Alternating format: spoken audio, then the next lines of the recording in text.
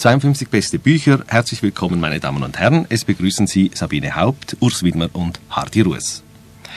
Heute wird unser Gespräch sich drehen um einen Roman aus Japan, um das letzte Buch des japanischen Autors Kobo Abe, die Känguru-Hefte. Kobo Abe ist 1924 in Tokio geboren, hat Medizin studiert, dann aber den, wie er einmal gesagt hat, ungeliebten Beruf des Mediziners gar nicht erst richtig ergriffen, sondern ist Literat geworden. Und zwar offenbar nicht zuletzt deshalb, weil er in einer extremen Armut, wie er das selbst genannt hat, aufgewachsen ist, nachdem sein Vater früh gestorben ist und die Familie eben in dieser Armutssituation zurückgelassen hat. Kobo Abe war jahrelang Kandidat für den Literaturnobelpreis und als dann vor ein paar Jahren Kenzaburo Oe den Nobelpreis bekommen hat für Literatur, hat er auf seinen Kollegen Kobo Abe, der damals schon gestorben war, eigentlich rückwirkend gemeint, Kobo Abe hätte ihn verdient. Also ein bedeutender Mann, ein bedeutender Literat aus der japanischen Literatur, aus der Moderne muss man beifügen. Hier wäre ich eigentlich schon beim Anfang Sabine Haupt und Urs Widmer. Das Buch Die Känguru-Hefte, in meinem Satz gesagt, die letzte Reise, vermutlich letzte Reise, eines sehr skurrilen Erzählers, der eines Tages entdeckt, dass ihm Kresse aus den Beinen wächst. Diese Reise führt über ganz verschiedene Stationen und offenbar eine Art symbolische Reise eben in den Tod. Fluss kommt vor, Todesfluss, Acheron und so weiter. Also dieser Roman von Kobo Abe, die Känguru-Hefte, kommt mir nicht japanisch, sondern sehr, sehr europäisch vor. Sabine Haupt. Mhm. Ja, ich glaube, das ist durchaus zu Recht.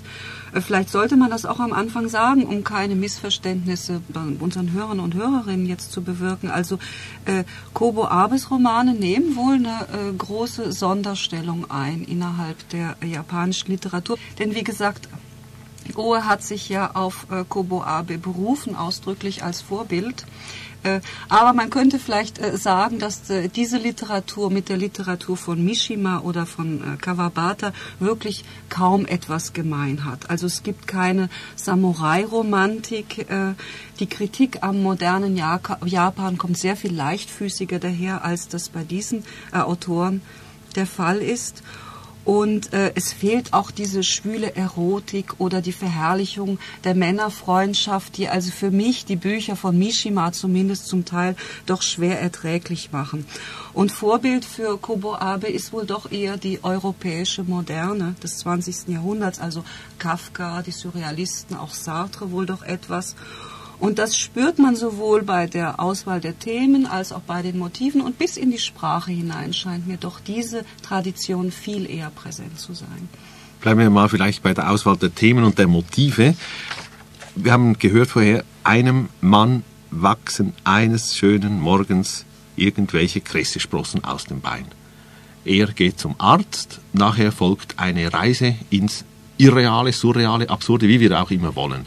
Und wenn wir es einmal im Jahr brauchen dürfen, dieses abgegriffene Wort, hier möchte ich es eigentlich doch jetzt benutzen, Urs Widmer. Mir kommt das sehr Kafkaesk vor, diese Situation. Dieses geworfenen Menschen, der eines Tages sich in einer absolut absurden Situation findet und dann läuft etwas mit ihm ab, über das er sozusagen keinen Einfluss mehr hat. Zweifellos bezieht sich Abe sehr stark auf Kafka. Das Buch ist ja ein die Beschreibung eines Albtraums, eines Traums vom eigenen Tod. Und ich denke, das Buch bezieht eine gewisse Affektivität daraus, dass Abe danach wirklich gestorben ist. Es ist ein bisschen, als hätte er den Schrecken des eigenen mhm. Todes vorausgeträumt. Und das berührt den Leser natürlich. Andererseits Erzähl ihn nicht, ruft Estragon in Beckets Warten auf Godot, als Wladimir ihm sagt, er wolle ihm seinen Traum erzählen. Erzähl ihn nicht. Natürlich erzählt ihn Wladimir dennoch. Er ruft, aber erzähl ihn nicht, weil die Träume von anderen in der Regel auf uns keine affektive Wirkung auslösen. Ganz einfach, weil wir das Referenzsystem der Requisiten des Traumes nicht nachvollziehen können. Ein bisschen davon ist in diesem Buch auch zu finden, meine ich. Es ist ein Traum, der erst noch auf einem Einfall beruht. Nämlich der Einfall ist, ein Mann wacht auf und ist voller Kresse. Etwas Schrecklicheres gibt es zwar nicht, aber a priori mal ist es ein Einfall. Und ich denke, dass die Einfälle in der Literatur etwas sehr Gefährliches sind. Literatur, die auf Einfällen berührt, berühren uns weniger, weil wir den Einfall in seiner Affektivität nicht ganz nachvollziehen. Und ein bisschen, denke ich, krankt auch dieses Buch daran, wenn Sie von Kafka reden, dann denken wir sicher zuerst an die Verwandlung, die auch auf einem Einfall beruht, nämlich einer wacht auf und ist ein Käfer. Und wenn ich Ihnen jetzt ein Geständnis mache, jetzt wo wir unter uns sind, es ist just die Erzählung von Kafka, die ich am wenigsten mag. Genau aus diesem Grund. Die Notwendigkeit eines Albtraums ist in anderen Büchern von Kafka viel sicherer und viel stärker gelungen. Und daran, an dieser Einfallhaftigkeit, krankt ein bisschen auch Kobo Abe. Wenn wir vielleicht bei diesem Vergleich bleiben und trotzdem wegkommen, weil wir wollen jetzt vielleicht auf Abe zusteuern und auf sein Buch. Etwas, was ihn und diese Fabel fast unterscheidet von Kafka, ist der Humor, der Witz, das Skurrile. Das ist eine Stärke für mich dieses Buches, dass ich diesem Mann auf seinem Weg zum Arzt, zuerst zum Dermatologen. Der kann ihm natürlich nicht helfen, schickt ihn dann aber in eine Schwefelgrotte. Der Mann fährt dann mit einem Bett halten Sie sich fest, meine Damen und Herren, zu Hause, was die Literatur heute noch alles schafft. Das Bett fährt allein. Der Mann merkt plötzlich, er kann mit dem Kopf das Gefährt steuern und da plötzlich wird es auch witzig und aberwitzig, nicht? Und all die Stationen, die er nachher dann erlebt, haben ja immer nicht nur dieses Unheimliche, Hölle kommt vor, es kommt äh, ein ganz eigenartiger Amerikaner vor, der äh, sein Unwesen in Japan treibt. Also es ist immer sehr skurril, sehr witzig und sehr lustig und neben diesem dunklen, unheimlichen reizt mich diese Figur dieses Kresse Mannes eigentlich immer auch zum Lachen. Mhm. Ja, also gerade die Sache mit dem Bett, das ist natürlich das Requisit, was am meisten Komik äh, hervorruft im Buch. Also ich denke nur an die eine Stelle. Komik entsteht ja oft dort, wo der Held in irgendwelchen grotesken Missverständnissen sich befindet mit seiner Umwelt. Also gerade auch was die Sexualität angeht, wo er also irgendwie diesen Ansprüchen nicht ganz genügen kann. Und es gibt eine Stelle, wo das auch fast in die Sprache ein bisschen mit hineinfließt wo also die Sprechstundenhilfe, in die er sich dann im Lauf des Romans äh, verliebt, äh, mit dieser Sprechstundenhilfe eilt er durch die unterirdische Schwefelhölle. Das Bett fährt irgendwie hint dahinterher und dann heißt es, äh, es ist doch ein wunderliches Bild. Man sieht ein fliehendes Paar verfolgt von einem mobilen Bett. Also das ist einfach grotesk. ja. Das ist schon wunderbar, auch als Karikatur dieser besonderen Liebesbeziehung. Aber ich würde ganz gern noch mal auf das zurückkommen, was äh, Urs Wittmer eben gesagt hat. Also diese Sache mit der vielleicht Überdeutlichkeit des Einfalls. Ich habe mich bei Kobo Abe gefragt, also gerade bei diesem Roman, inwieweit er als Metaparabel lesbar ist, also als Parabel über das Parabolische oder auch als Pseudoparabel. Das heißt also, ob dieser Einfall tragend ist und wenn er nicht tragend ist, warum das so sein könnte. Denn in anderen Büchern von Kobe Abe gibt es ja auch dieses Spiel mit Bedeutung und Symbolen. Aber ich habe das als etwas diskreter, vielleicht auch als eleganter in Erinnerung, wie das hier ist. Hier ist es doch zum Teil sehr plakativ. Und in den anderen Büchern ist es zum Teil diskreter, aber gleichzeitig auch eindeutiger. Denn die Hintergründigkeit der jeweiligen dort dargestellten Geschichte äh, verdichtet sich dann im Lauf der Erzählung zu einem doch sehr tragfähigen semantischen Netz. Und ich glaube, das ist hier nicht so sehr der Fall. Also in dem Roman Der Schachtelmann, da geht es um einen Fotografen, der in einer Wohnschachtel lebt also er hat einen Kühlschrankkarton und sich dort einen Seeschlitz reingeschnitten und lebt aus diesem Karton heraus. Also da geht es um Sehen und Gesehen werden, um die Zerbrechlichkeit der Privatsphäre und so weiter. In seinem frühen Roman äh, Die Frau in den Dünen, dort gerät ein Insektenforscher in eine Sandmulde hinein, in eine Falle, kommt dort nicht wieder heraus. Also dort geht es mehr so um ja, um das Annehmen eines Schicksals und so weiter. Hier in den Känguru-Heften geht es meiner Meinung nach um all das, aber gleichzeitig auch noch um vieles anderes, um Tod und Verwesung, um Natur und Kultur und so weiter.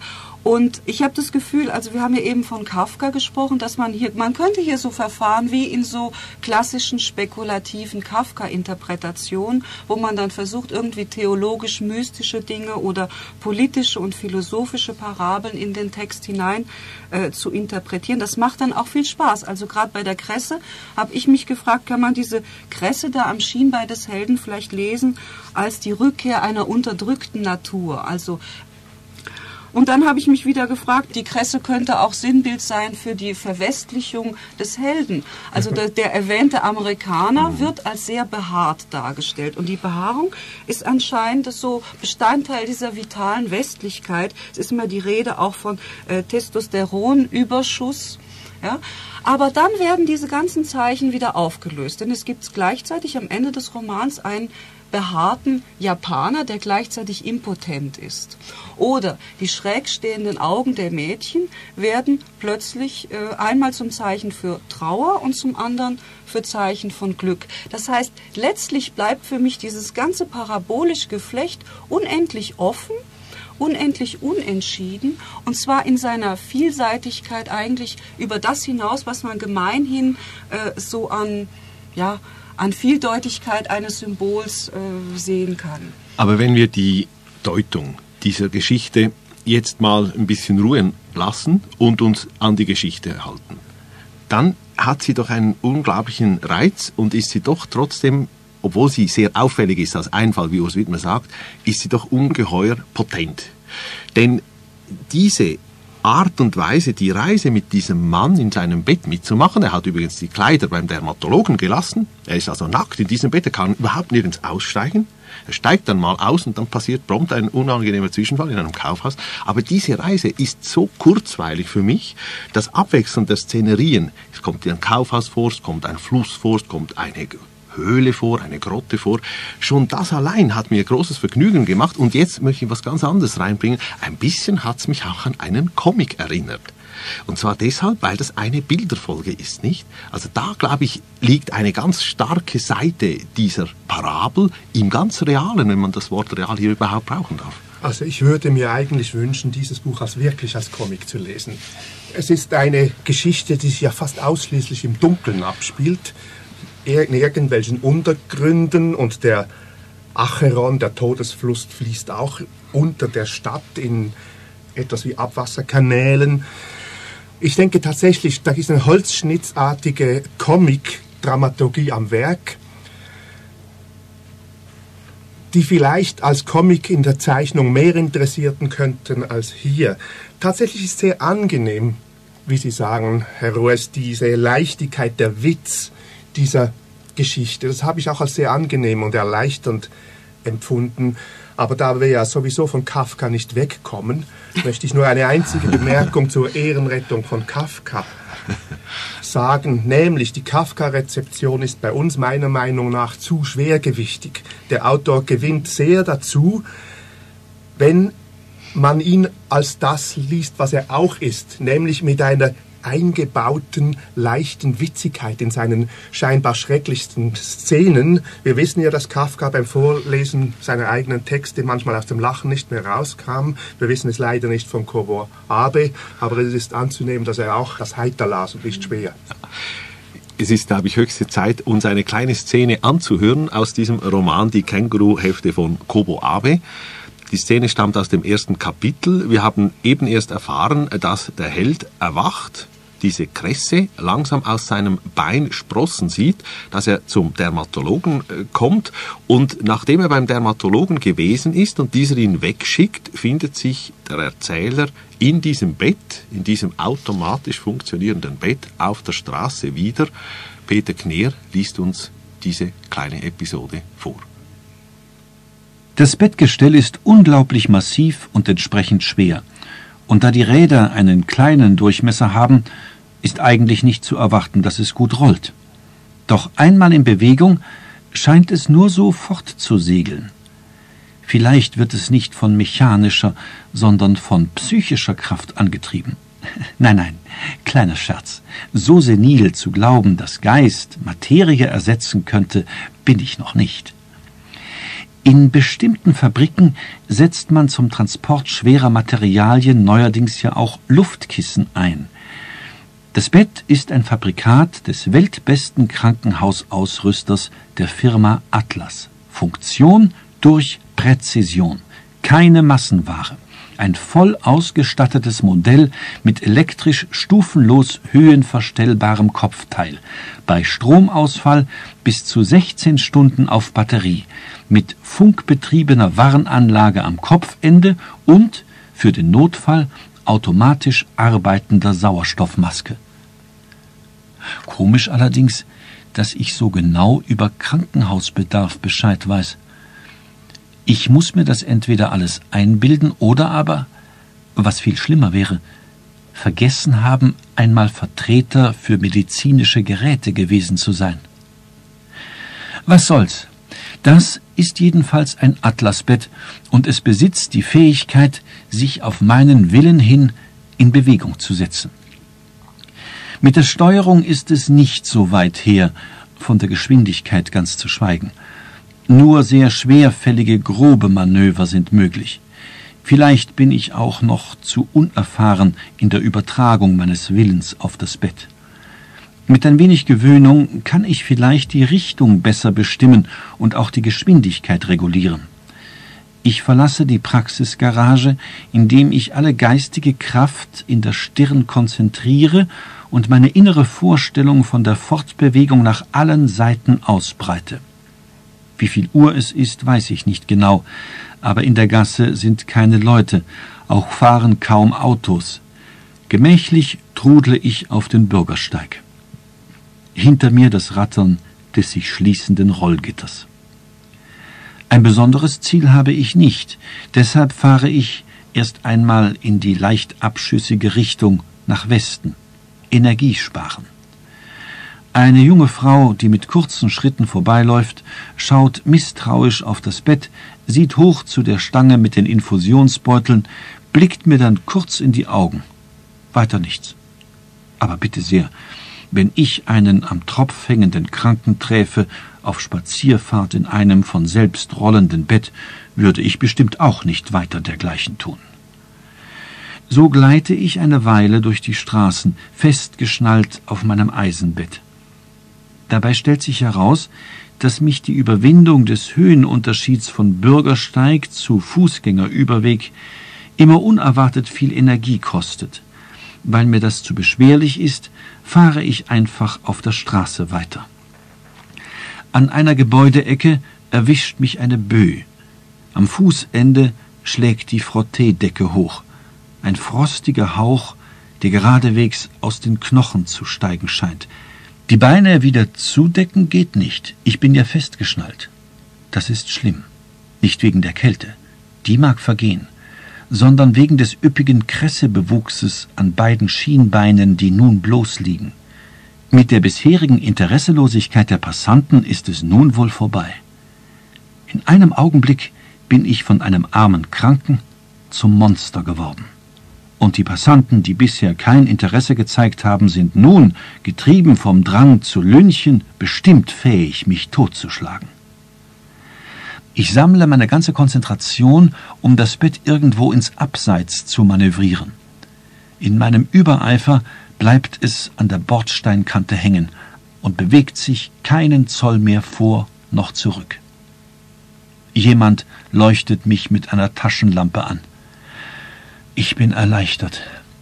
Bestimmt ist es der Arzt oder die Sprechstundenhilfe. Endlich ist der lange Albtraum vorbei. Doch leider ist es weder der Arzt noch die Sprechstundenhilfe. Statt der Leuchtstoffdeckenbeleuchtung eine große Handlampe, ein weißer Bauarbeiterhelm. Ein Mann im Overall schaut auf mich herab. Die geröteten Augen verraten seinen Kater. Hier ist es gefährlich, Mann, in einer Stunde müssen hier die Laster rein und raus. Meinen Sie, ich stünde aus Vergnügen hier? Ja. Meinen Sie, ich stehe aus Vergnügen hier? Peter Kner hat uns diese Episode aus Kobo Abes Roman Die Känguruhefte vorgelesen. Eben dieser arme Kerl, der eines Tages Kresse aus den Beinen wachsen sieht und dann auf diese Irrfahrt geschickt wird ganz am Anfang seiner kleinen Odyssee hier beobachtet vor einem Bauarbeiter. Sabine Haupt, Urs Widmer, für mich ist das nun wirklich eine dieser ich muss es sagen, Stärken des Buches, dass es auf eine ganz unglaublich exakte und für mich gescheite Art und Weise diese Komik zu erzeugen vermag.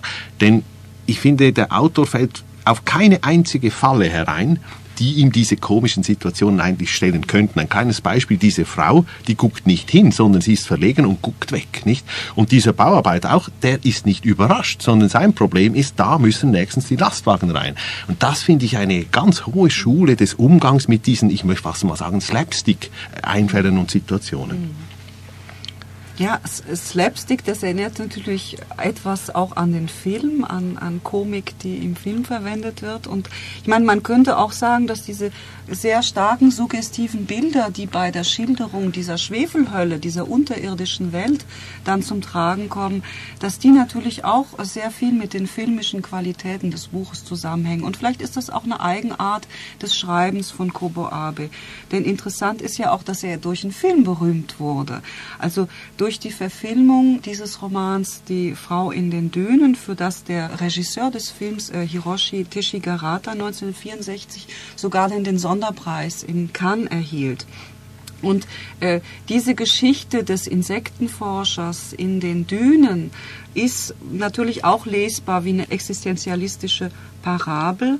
Aber Zentrum der Erzählung ist dort die untergründige erotische Spannung äh, zwischen dem Mann Gefangenen in den Dünen und seiner Mitgefangenen. Und ich glaube, da haben wir dann auch zwei tragende Elemente, die auch eine Parallele bilden zu den Känguruheften. Also einerseits diese sehr poröse Wirklichkeit, überall sind Fallen und Löcher in der Wirklichkeit, durch die die Helden plötzlich hindurchstürzen, ganz unvorbereitet hindurchfallen in eine andere, ganz verwirrende Welt. Also auch unser Patient hier auf dem Bett versteht eigentlich die Gesetze der Wirklichkeit nicht oder oder immer weniger. Und das zweite Element ist diese seltsame erotische Hilflosigkeit, die er an den Tag legt. Also der Held verliebt sich fast zufällig in eine Frau. Äh, hier in den Känguru-Heften ist es eben die Sprechstundenhilfe. Und äh, am Anfang scheint er gar nichts von seiner eigenen Verliebtheit zu bemerken. Also das geht so ganz beiläufig. Und dann entwickelt sich daraus eine regelrechte Obsession. Also nachher erblickt er alle möglichen Frauengesichter, auch Mädchengesichter und sieht darin immer wieder das eine dieser äh, Sprechstundenhilfe. Und die Geliebte vervielfältigt sich dann, kommt ihm immer wieder in allen möglichen merkwürdigen Situationen unverhofft zur Hilfe. Aber er ist eigentlich ein Ausgelieferter. Er kann nicht handeln. Und ich habe mich auch gefragt, inwiefern dieses Buch auch ein bisschen zu lesen ist als die Erzählung des Ausgeliefertseins im Krankheitsfalle. Also äh, er ist ja äh, den, dem operierenden Arzt ausgeliefert, der Krankenschwester ausgeliefert, liegt festgeschnallt auf diesem Bett, kann sich nicht bewegen und reist in einer Art träumerischen Regression, aus der er halt immer wieder ganz brutal herausgerissen wird in dieser merkwürdigen, löchrigen Wirklichkeit. Mhm. Und das dargestellt in ganz großen, starken Bildern, die zum Teil eben diese Slapstick-Komik mhm. haben. Ja. Ich denke, dass es genau das ist. So deliriert und träumt ein Schwerkranker im Spital vor sich hin. Und das ist ja auch sehr, sehr gut gemacht. Damit stößt sich eigentlich diese immer wieder von Ihnen jetzt eigentlich eher positiv gesehene Sexualität in dem Buch. Hier in dem Buch denke ich, dass das nicht stimmt.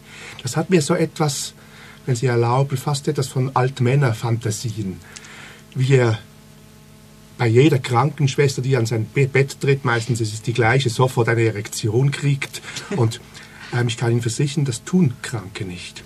Ich denke eigentlich, es ist erstens eine Krankenhausfantasie, zweitens eine Todesfantasie und drittens eine Fantasie über das japanische Arbeitsleben. Es fängt ja an damit, dass er einen unernsten Vorschlag in seiner Firma macht, nämlich Känguru-Hefte zu entwickeln. Etwas, was er sich selber überhaupt nicht besonders überlegt und wo er dann von der Firma gezwungen wird, das zu konkretisieren. Das ist aber auch schon die, der Anfang seines Endes. Und jetzt kann man die Kresse sehen, wie man will. Man kann sie, man kann sagen, die Natur bricht in die technisierte Arbeitswelt ein. Man kann auch sagen, er individualisiert sich, er wird ein anderer, er wird zum Monster, er sagt es selber. Das japanische Arbeitsleben stößt ihn aus. Und das bedeutet offenbar dort, wie bei uns andeutungsweise ja auch schon, den sofortigen sozialen und realen Tod. Der Tod ist also verursacht von einer bösen, inhumanen Arbeitswelt. Mhm. Man sieht hier schon wieder, wie vielfach eben auf dieser Parabelebene sich diese reale Reise in den Tod eigentlich lesen lässt und deuten lässt. Und es gibt eine Stelle mal, wo die Figur äh, zu sich selber sagt, so nahe beieinander liegt das Leben und der Tod, dass ich den Übergang sozusagen nicht bemerkt hätte, wenn ich jetzt tatsächlich schon im Jenseits wäre. Es ist also auch die Geschichte eines Mannes, der ein Leben lang so lebt, als ob er nicht sterben müsste, nicht? Das ist ja auch drin. Man lebt so bewusstlos vor sich hin und merkt gar nicht, wie einem die Lebenszeit entgleitet. Der Übergang ist ganz unmerklich geschehen. Also ich denke mir, man hat jetzt sicher gut gehört, Sabine Haupt, Urs Widmer, wie viel Lesefreude, würde ich jetzt mal sagen, wenn ich das zusammenfassen darf, und auch Intensität der Lesearbeit dieses Buch einem bringt. Wie stark es einen dann überzeugt, da mag dann die eine von der anderen Meinung sich unterscheiden, aber ich glaube, das ist für mich jedenfalls ein Musterbeispiel, wie eine ganz einfache Geschichte hoch aufgeladen ist mit vielen, vielen Potenzen dessen, was wir daraus lesen und verstehen können. Sabine Haupt, zum Schluss möchte ich Ihnen einen ganz speziellen Dank sagen, nicht weil Urs Wiedmer weniger intensiv heute dabei gewesen wäre, sondern weil Sie zum letzten Mal für uns dabei gewesen sind in dieser Dreiergruppe nach einem Jahr.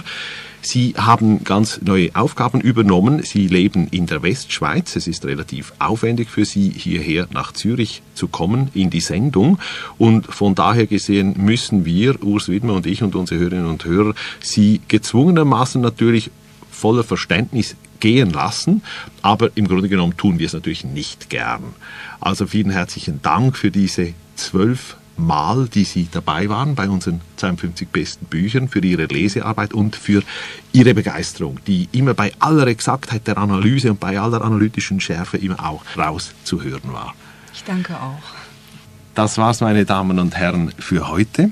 Das Buch, um es nochmals zu sagen, von Kobo Abe heißt in der deutschen Übersetzung Die Känguru-Hefte aus dem Japanischen hat es Jürgen Stalf übersetzt und erschienen ist es bei Eichborn, wo ein halbes Dutzend anderer Werke von Kobo Abe auch auf Deutsch zu haben sind.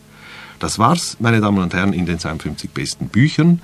Es verabschieden sich von Ihnen Sabine Haupt, Urs Widmer und Hardy Ruas. Und ein Hinweis, Sie hören diese Sendung noch einmal am nächsten Dienstagabend um 21 Uhr auf DRS 2. Danach in der Tribüne liest Peter Kneer eine halbe Stunde aus dem Roman Die Känguruhefte von Kobo Abe vor.